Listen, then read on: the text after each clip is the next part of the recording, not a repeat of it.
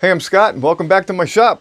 Uh, today, I'm going to show you how I made this really cool stopper.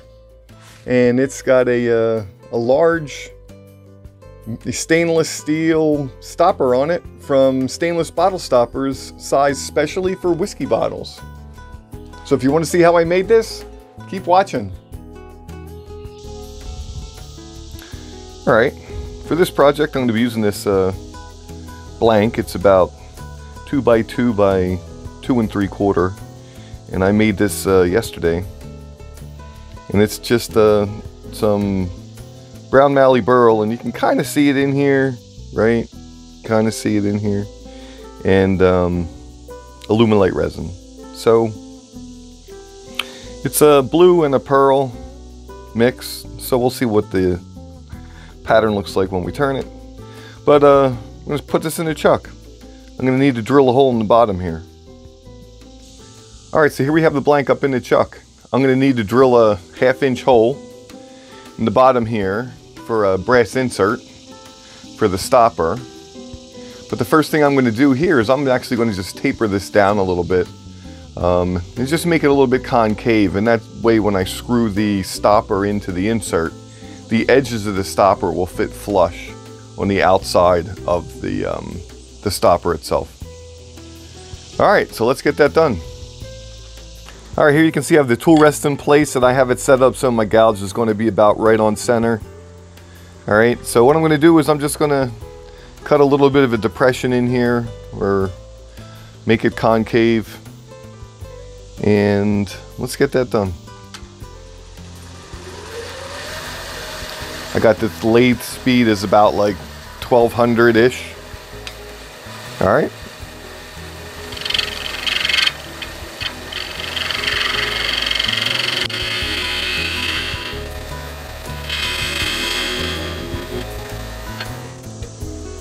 All right, so you can see that's a little bit concave. I'm gonna take the point of a skew and I am just going to make the center hole more defined. All right, and that's gonna act as a guide for the drill bit. I'm gonna take a half inch uh, Forstner bit and um, drill a hole right there. All right, here you can see I have this half inch Forstner bit in my uh, um, drill chuck that's mounted into my tailstock. And I'm just gonna drill a hole. I got a mark here with a Sharpie that's gonna mark my depth. And I'm gonna drill up to that depth and that uh, should give me enough room to get that brass insert um, installed. I'm going to turn the lathe speed down to about 400-ish. And uh, let's get that hole drilled.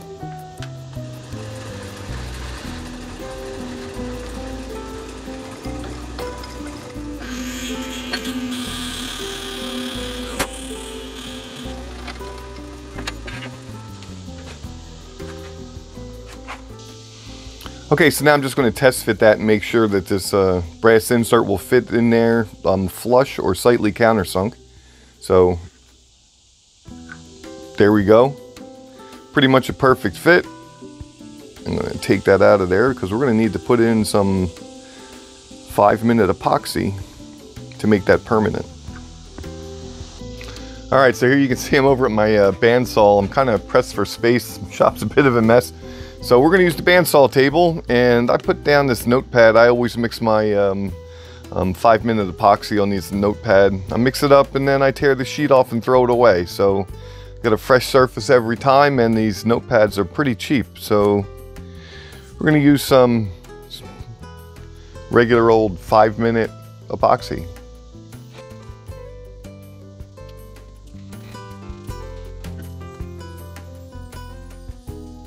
All right, you can see we have about equal amounts of A and B. So we're just gonna mix that up. And I'm just using a uh, craft stick or a non-sterile tongue depressor.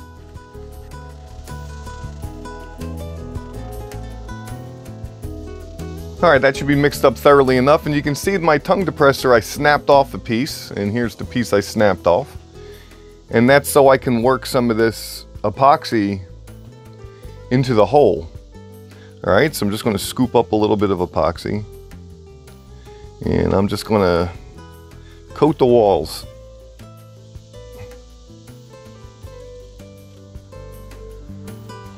I'm gonna do about the best I can, and there we go. And then I'm gonna take some epoxy and I'm gonna put it into the knurls of this brass insert. You can see I'm only going about three quarters of the way up because there's going to be a little bit of squeeze out. Alright, so that's got that pretty much filled in. let me move this pad out of the way. Alright, and I'm just going to insert the brass insert into the hole.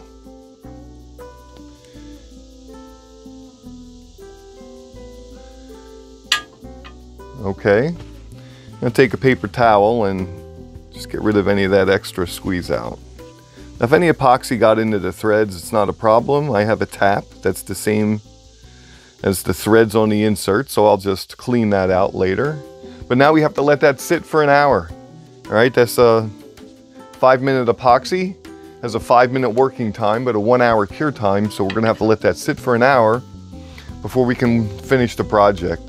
And in case anybody's wondering what I use to insert that insert, this is uh, one of Stainless Bottle Stopper's um, honey dippers. And I kind of gummed up the threads on this a while ago, so now I use this basically as a tool to insert that um, the brass insert into all my projects that use that insert. Well, we waited an hour and uh, turned the video on, but I forgot to turn my microphone on, so we're going to have to deal with some voiceover. So here you can see the blank, it has the insert glued in place. Um, and now I just have to mount it on the lathe. To get this blank mounted on the lathe, I'm going to use this universal mandrel. It's made by Stainless Bottle Stoppers. Uh, as you can see, it screws right onto the spindle of the lathe. One of the cool features of this universal mandrel is you can see it has this small post, um, and that's actually sized for that honey dipper. And stainless bottle stoppers will um, sell you individual bushings that will fit over that post. Um, and those bushings are for different size objects. You know, obviously this is the bottle stopper size. Um, and they have various sizes for various projects. So you might want to check out their website. Alright, now I'm getting ready to screw this on the mandrel. So I'm just going to screw it on, snug it up, and uh, we should be ready to turn. Here you can see I got the tool rest in place, just checking for clearance. And uh, I got the tailstock up for support. And we're to just switch the machine on and get ready to go. The first step here is to round these corners over. So what I'll be using is a spindle roughing gouge.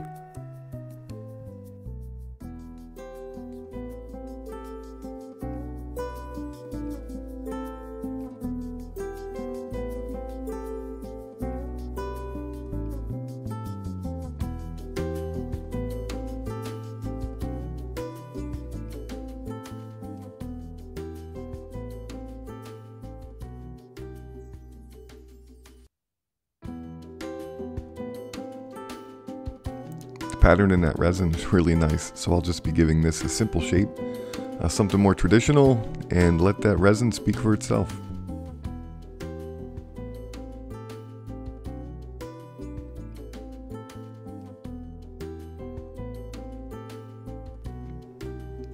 I'm going to turn the bottom here close to the bushing and once I'm happy with the final shape I'll come back later and clean it up and take it right up to the bushing so it fits on the stopper perfectly.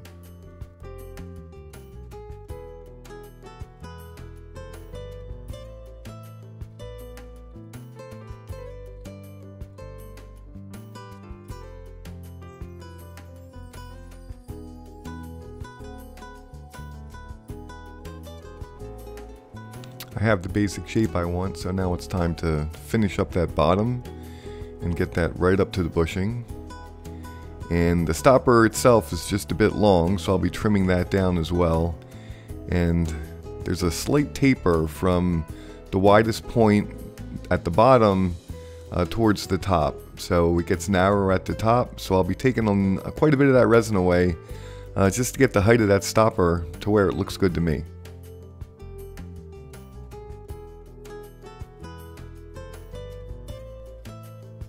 I'm happy with the height I have here. So it's time to take that tailstock away and work on removing that little nub that's on the end of the stopper. I've been using a spindle gouge to shape the top of this piece uh, for the most part, and now you'll see I'm using the lower wing on that same spindle gouge uh, to take away that nub, and that does a pretty good job. But you also, there's alternative methods you could use, so you could also use a round-nosed um, scraper with a negative rake. Uh, you could also use a carbide tool. Um, and my carbide tool has a negative rake uh, cutter in it. And you can compare all three and see which method works best for you.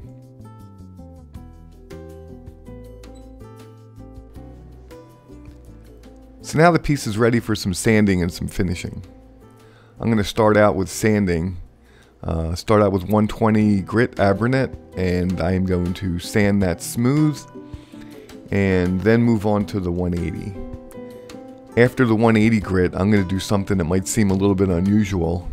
I'm going to coat the wooden area of this piece with some CA glue.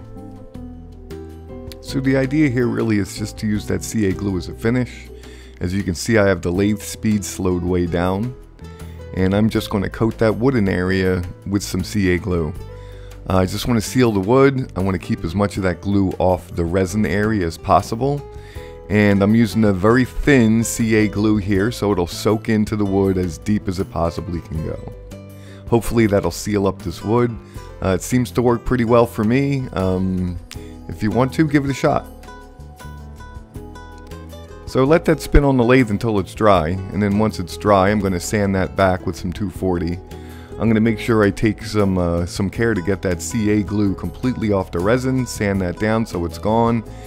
And once I'm done, I'm going to do that process all over again. I have the lathe speed turned down again. And here we are ready to go on for coat number two of CA glue.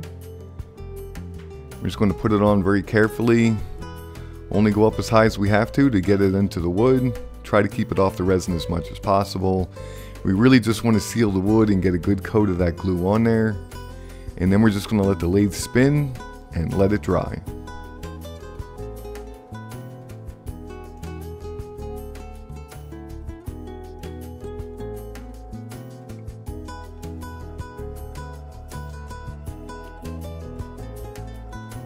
Now that that's dry, I'll move on to the next grit, which is 320. And then after I sand with 320, sand with 400, and then finish up with some 600 grit.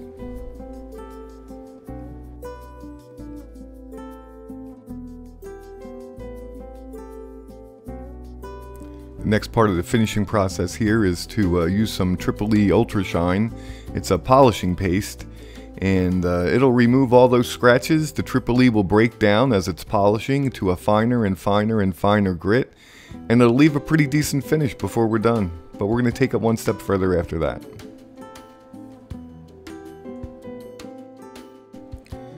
So here we are at the final step here. We're going to do a, uh, a little bit of buffing. And we're going to break that down into two sections. We're going to first buff with some uh, Triple E compound uh, using a buffing wheel that's on the lathe. And I have the lathe speed set at about uh, 12 to 1500 RPM for this buffing operation.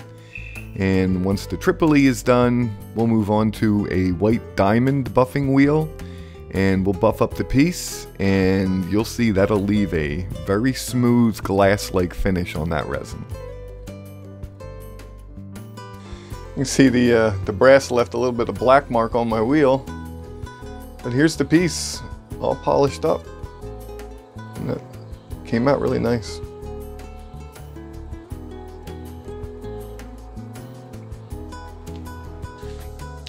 All right, so the hardware we're going to be using is made by uh, Stainless Bottle Stoppers, and you can see this is one of their wine bottle stoppers.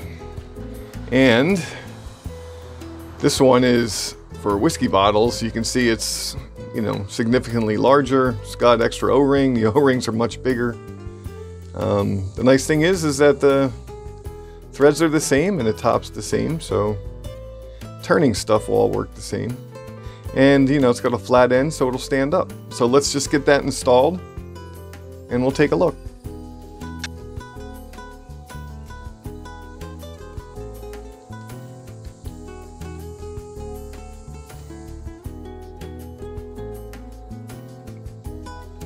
There you go.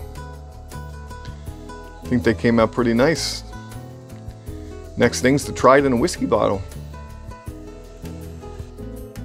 Well, there you go. Got a really nice bottle stopper uh, made from some brown mallee burl, some alumilite resin colored blue and pearl, and some hardware.